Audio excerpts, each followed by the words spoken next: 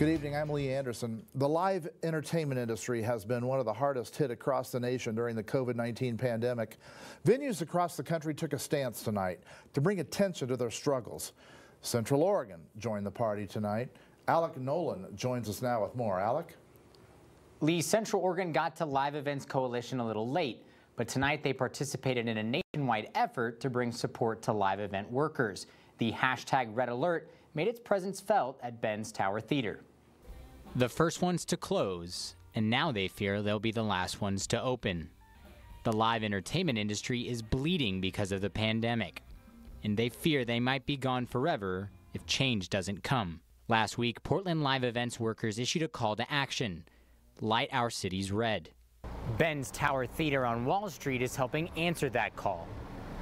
This rallying cry for September 1st is part of a national effort to raise awareness for the plight of live events workers and advocate for the Federal Restart Act. The Restart Act is a bill that would extend the Paycheck Protection Program established to support small businesses with fewer than 500 full time employees that suffered a decline in revenues of at least 25%.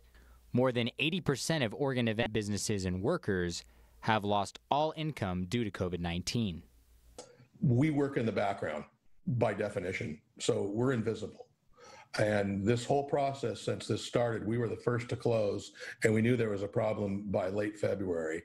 Um, this whole process has been as much about just saying, "Hi, we're here." Oh, well, how many of you are there? Um, 12 million.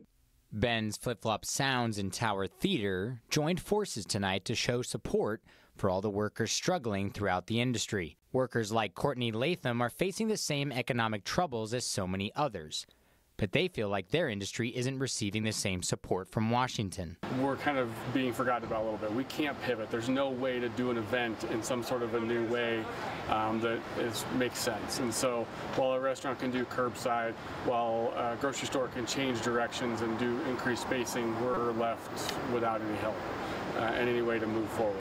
The Live Event Coalition says this is just their opening act to bring awareness.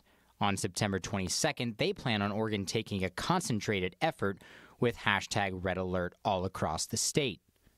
Without any financial assistance, it might just be the final act for the industry. The Live Events Coalition says if you want to show your support, send the Red Alert hashtag on social media September 22nd. Lee, back to you.